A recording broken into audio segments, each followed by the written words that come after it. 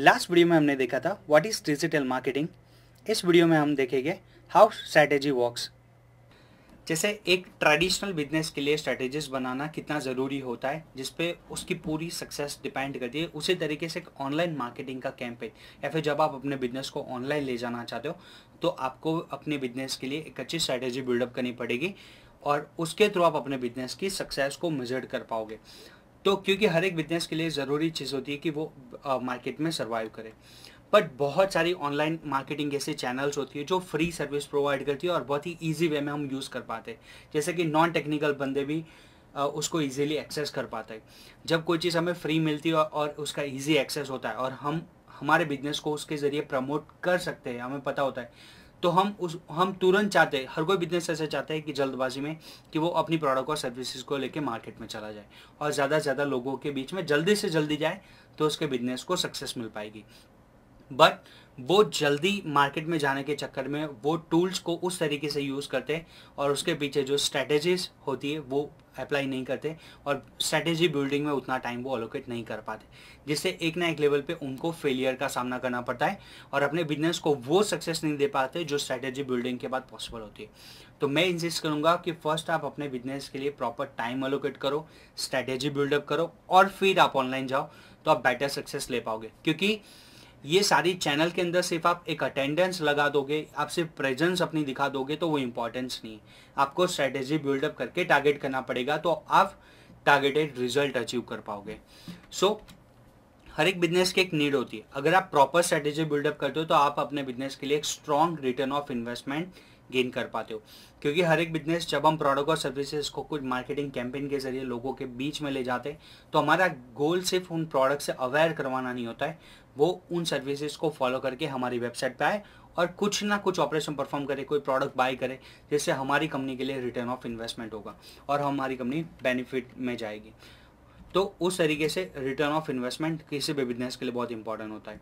सो so, मान लो कि जब हम एक प्रॉपर स्ट्रेटेजी बिल्डअप नहीं करेंगे तो क्या क्या प्रॉब्लम हो सकता है? फॉर एग्ज़ाम्पल हो सकता है कि आपके पास अच्छी प्रोडक्ट हो और अच्छी सर्विसेज़ हो, और आप मार्केट में कस्टमर के लिए अच्छी प्रोडक्ट और सर्विस डिस्प्ले करो तो कस्टमर से अट्रैक्ट भी हो सकता है ऐसा हो।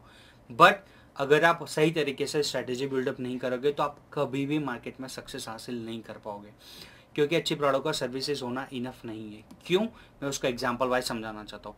यहाँ पर मैंने एक एग्ज़ाम्पल लिया है रिलायंस कम्युनिकेशन एंड रिलायंस जियो दोनों टेली कम्युनिकेशन कंपनीज़ हैं, दोनों टेलीकॉम सर्विस प्रोवाइड करती है।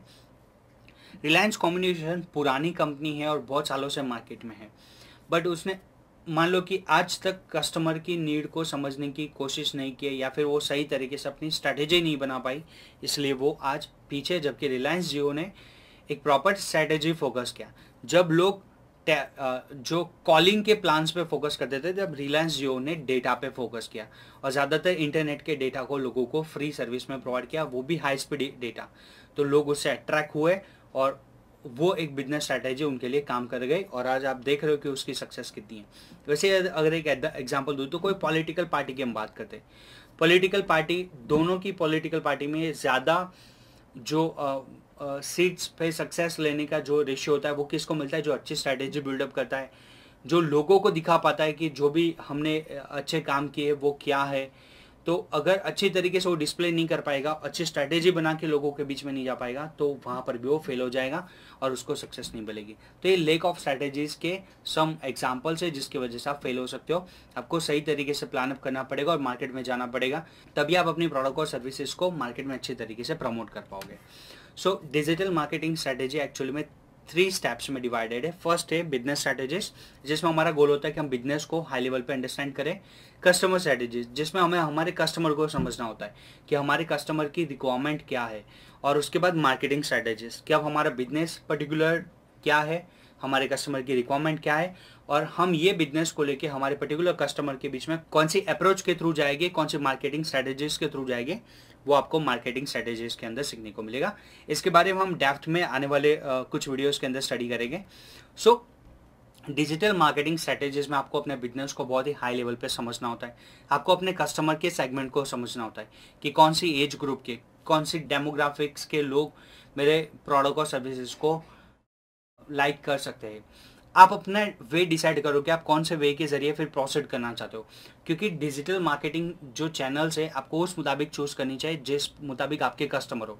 अगर मेरे कस्टमर ज़्यादातर फेसबुक यूज़ करें और मैं गूगल के थ्रू जाऊँगा, वो ज़्यादातर ट्विटर यूज़ करें और मैं फेसबुक के थ्रू जाऊँगा तो चैनल्स आइडेंटिफाई कर बहुत ज़रूरी है कि आपका कस्टमर कौन सी टेक्नोलॉजी के साथ कनेक्टेड है।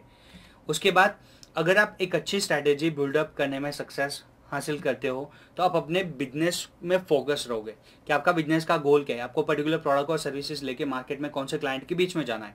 प्लस आप नई नई मार्केटिंग के चैनल एक्सप्लोर करोगे, जहाँ पर आपके सक्सेस होने के चांसेस बढ़ जाएँगे, अगर एक अच्छी स्ट्रैटेजी आपके पास अवेलेबल है तो।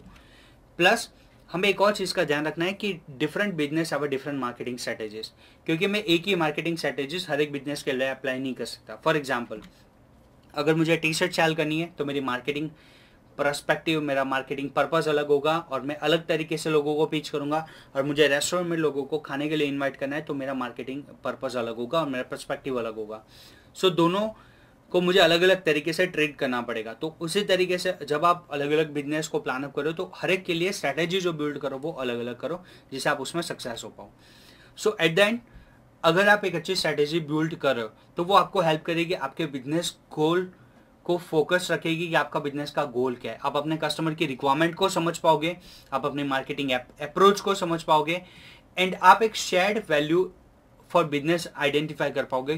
क्या होता है शेयर्ड वैल्यू जहाँ पर आपका बिज़नेस की रिक्वायरमेंट और आपके कस्टमर की रिक्वायरमेंट अगर दोनों अलग अलग जा रही है तो मीन्स के कभी भी आप अपनी प्रोडक्ट और सर्विसेज़ को सेल नहीं कर पाओगे। बट एक ऐसा कॉमन प्लेस जहाँ पर आपके बिज़नेस की रिक्वायरमेंट और आपके कस्टमर की रिक्वायरमेंट दोनों कॉमन जा रही है। तो वो एक प्लेस बनता है जिसको शेड वैल्यू में कहूँगा और उसके ज़रिए वो प्लेस होगा जहाँ पर आप अपने कस्टमर को कुछ टारगेट कर सकते हो। नहीं तो दोनों अलग अलग जा रहे हैं दोनों की रिक्वायरमेंट अलग जा रही और प्रोडक्ट अलग जा रही है आपको दोनों को मैचअप करना पड़ेगा। और शेयर वैल्यू आइडेंटिफाई करना पड़ेगा कि कौन सा ऐसा कस्टमर है जहाँ पर मैं मेरे बिज़नेस को प्रमोट कर सकता हूँ और जो उसके इंटरेस्ट एरिया में आ सकता है तभी आप अपने बिज़नेस को अच्छी तरीके से मार्केट में ले जा पाओगे। सो so, ये स्ट्रेटेजी आपको शेयर वैल्यू आइडेंटिफाई करने में हेल्प आउट करेगी। एंड आप जब एक अच्छी स्ट्रेटेजीज बनाओगे तो आप मैक्सिमम रिटर्न ऑफ़ इन्वेस्टमेंट हासिल कर पाओगे एट वेरी लो रिस्क कि आपको बहुत ही लो रिस्क पे ज़्यादातर रिटर्न ऑफ़ इन्वेस्टमेंट मिलेगा अगर आप अच्छी स्ट्रेटेजीज के ज़रिए जाओगे। क्योंकि आपको बहुत सारी रॉन्ग वेज अप्लाई नहीं करने पड़ेंगे, बहुत सारे रॉन्ग चैनल्स के थ्रू नहीं जाना पड़ेगा। आप अपने टारगेट पे फोकस रहोगे और नीच रहोगे, उसके लिए कौन सा टूल्स बेटर है वो टूल्स को प्रीफर करके जाओगे तो आपके सक्सेस होने के चांसेस ज़्यादा है। तो start building the strategy and ज़्यादा से ज़्यादा आप सक्सेस हासिल करो अपने बिज़नेस में। इस वीडियो में हमने देखा how strategy works next video में हम देखेंगे बिल्डिंग अ बिज़नेस स्ट्रैटेजीज़